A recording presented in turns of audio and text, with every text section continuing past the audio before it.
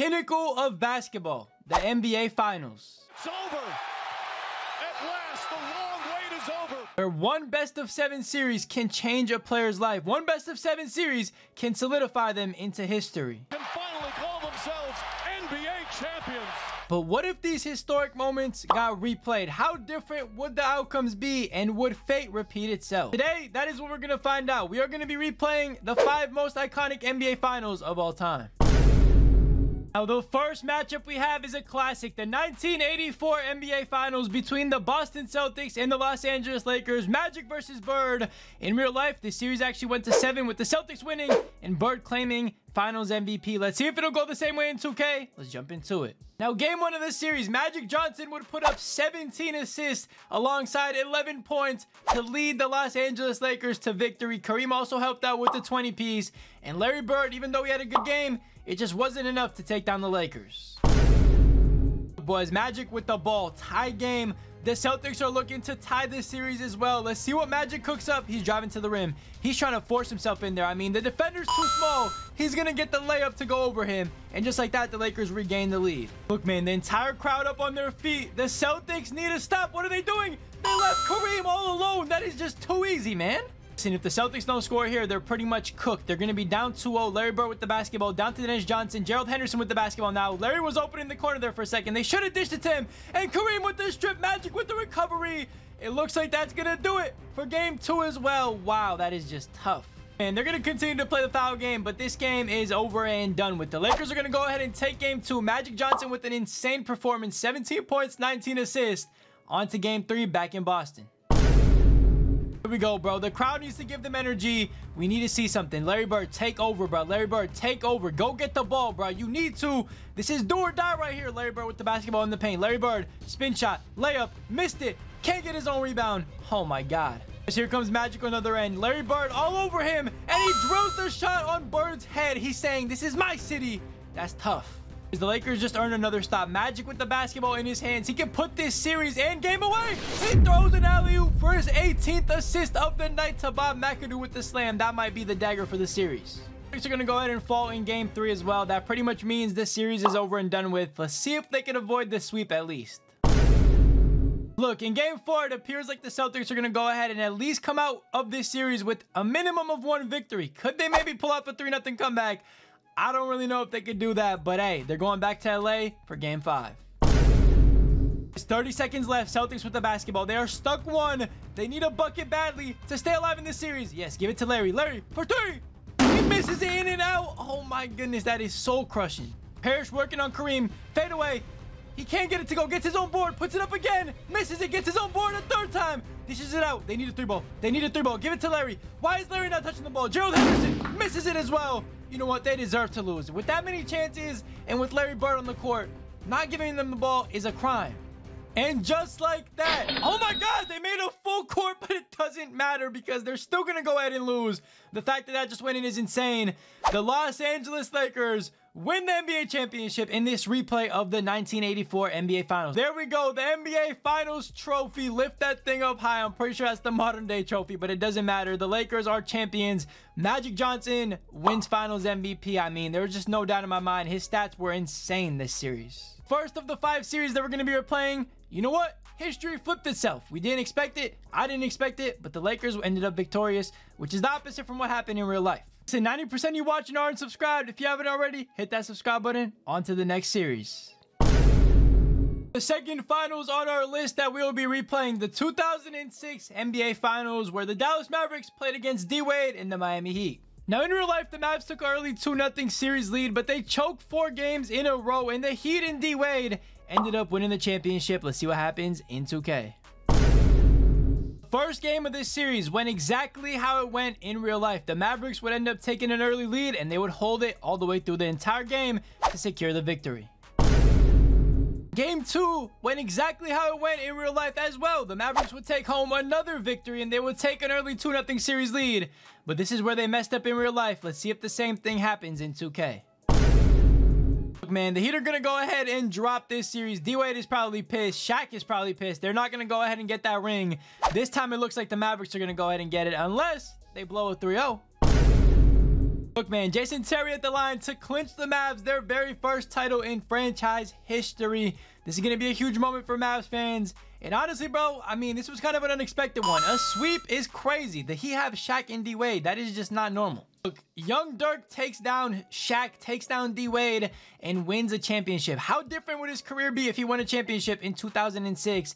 I mean, I can only imagine, but shout out to the Mavericks. I know Mark Cuban is somewhere getting hyped boys. There we go. There we go. The finals MVP. Who else? Dirk Nowitzki. Hold that thing up high, bro. He deserves it for beating an absolute, you know, demon team. I mean, D-Wade and Shaq is a crazy duo to get by. So shout out to Dirk and the Mavs. The next finals on the list, the 2016 NBA Finals, where, of course, the first ever 3-1 lead got blown in the finals by the Golden State Warriors, which led to the Cavs winning this championship. Today, we're going to replay it. We're going to see what would happen hey man, Draymond's gonna be here. He's not gonna be suspended. There's gonna be a lot of different factors. Let's see how this ends. Now, guys, game one was close. The Warriors needed a big shot, and Steph Curry stepped up and drilled a deep three. That shot was honestly insane, and that gave him a five-point lead, which was pretty comfortable. The Cavs would get their chance on this Kyrie 3 to kind of cut into the lead, but unfortunately he missed it. And that right there was pretty much the game. From there on out, it was out of reach. Although it was close, the Warriors take game one. They take a 1-0 series lead. On to game two. Boys, this game two is out of reach for the Cavaliers. They're going to fall down 2-0 in this series. But, hey, man, you got to remember that no lead is safe, especially in 2016, and especially when it comes to the Warriors. So, on to game three. All right, one minute left in game three. Cavs ball there, only up by three points. Can LeBron get a bucket right here? Download to Tristan Thompson. Beautiful pass, beautiful dunk, puts them up by five. LeBron with the basketball. He's not going to pull that. He's smarter than that. Oh, my God. Maybe he's not. Maybe he's not. The ball can't drop. The Warriors are still alive. Here we go. Iguodala for three. He can't cut into the lead either. Okay, now I can officially safely say the Cavs are going to go ahead and take game three. That was stressful. I don't even know why LeBron pulled that shot. Boys, here we go. LeBron for three late in game four. He drills it. That might be the dagger. Puts them up by eight. He knows what it means to the city of Cleveland. The series is about to be all tied up. Keep in mind that the Warriors were up 3-1 in real life, and that's what forced the Cavs to come back. So maybe just maybe being tied at 2-2 gives the Warriors the spark they need and the motivation to get this series over with. Listen, boys, I truly don't know what's worse. The Cavs right now are demolishing the Warriors on their home floor. They are up by 29. It looks like they're about to take a 3-2 series lead. I mean, I don't know which one's worse, blowing a 3-1 lead or blowing a 2-0 lead. I don't know. You guys let me know, but it looks like the Cavs are going to go ahead and take this Game 5 victory. Look, boys, the Warriors are up by 12 with about 40 seconds left. Klay Thompson has 37 points, putting the team on his back, forcing a game seven. We're going back to Oracle Arena where that infamous Kyrie shot and LeBron block happened. Let's see if history could change today. Let's see if the Warriors can come through and actually win this 2016 championship. Guys, game seven is underway. Kyrie on Steph. We've seen this before. Oh my God, the screen. He's going right. Dishes to LeBron. LeBron, get the bucket. We need a bucket, bro. If you want to stay alive, you need a bucket. Out to Kyrie again. Kyrie, can you save him? Can you save LeBron again? Drive in. Terrible shot, but he got it to go somehow. Four-point game with the minute 20 left. Oh, boys, this feels like history. Oh, my goodness. Kyrie just crossed Curry. LeBron with the basketball. He needs a bucket on Draymond Green. Let's see what he can do. He's driving in. He's going all the way. No foul, but he gets the bucket somehow. King James cuts the lead to two. Ah, this feels like real life then if you're a Warriors fan, you might as well look away right now. 36 seconds. Curry for three. He can't get it to go over Curry. Kevin Love put back. Gets it to go. Tie game. Oh my goodness, bro. This, I'm not even going to lie. This is the best one yet. I feel like this series feels like real life.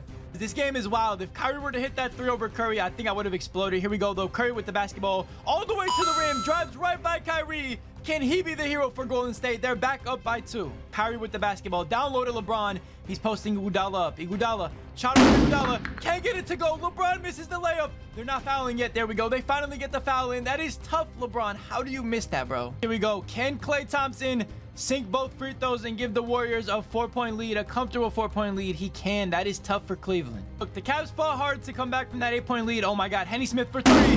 He can't get it to go. Kevin Love, who's been saving them, kicks it back out. He gets the rebound somehow. LeBron, they got to get something going. Kyrie over Steph. Again, he drills it. Oh my goodness, bro. That shot is just straight flashbacks for Warriors fans, but it's still a one-point lead for the Warriors. All right, boys, no timeouts left for the Cavs. Two seconds on the clock. LeBron from half for the tie. Oh my goodness, in and out, and the Warriors are going to be crowned champions. In this alternate reality, the Cavs do not end up coming back to win this series, and that right there is just insane. Listen, it definitely felt like real life. This series right here so far has felt the most like real life. Even Kyrie hit a shot over Steph, you know, in the clutch. I don't know, man. This series was just insane. It just sucks that the Cavs couldn't, you know, close out that comeback. Boys, there we go. There is the championship 2016 NBA Finals. And this time, Steph Curry actually gets the Finals MVP in this series. Shout out to him. His very first one all the way back in 2016. Hey, man, this really could have changed NBA history forever.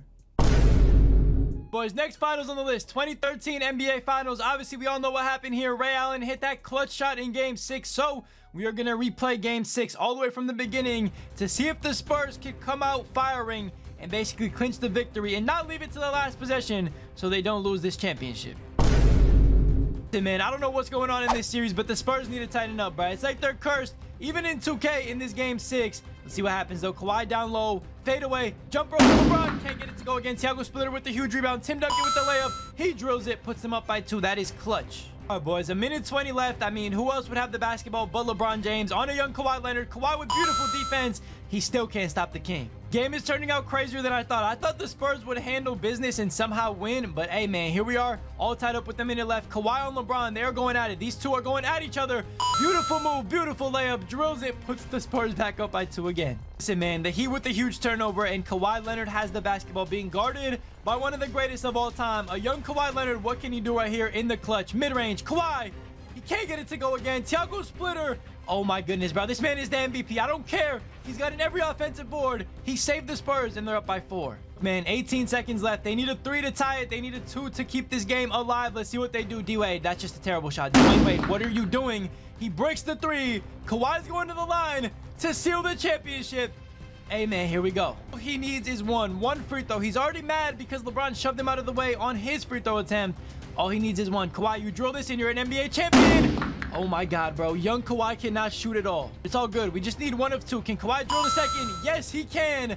That puts the Spurs one step closer to the championship. But here we go. D-Wade, last hitch attempt for three. Can't get it to go. Tim Duncan rebound. Up to Kawhi, up to Danny Green. The Spurs are going to become NBA champions like they probably should have all the way back 10 years. Listen, man, shout out to Kawhi for clutching up on those free throws. That was just a crazy ending, and the Spurs take home the championship. And wait a minute, why is LeBron celebrating with Kawhi, bro? This game is so broken sometimes, it's not even funny. LeBron should be sad right now. Wait, man, there we go. Gregg Popovich gets to lift up that championship. Tim Duncan gets another ring. Kawhi gets another ring. I mean, look, man, if we were to replay this game, history would definitely change. And I believe in real life as well, history would change because that Ray Allen shot was just ridiculous. Of course, shout out to Tim Duncan for winning Finals MVP. I mean, it was expected. Shout out to one of the GOATs.